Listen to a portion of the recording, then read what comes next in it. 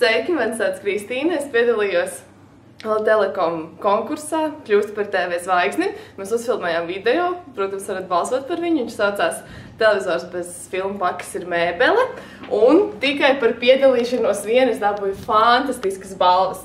Šeit man ir jāciņa no Cartoon Network ar atciņām. Šeit man ir digitālais fotorāms no Dīvas. Un vīna pudeļu zasētājs no Eurosport un pati mīļākā balviņa no National Geographic jauks piekariņš. Jums vēl ir viena diena, uzfilmējiet savu video un piedalieties konkursā.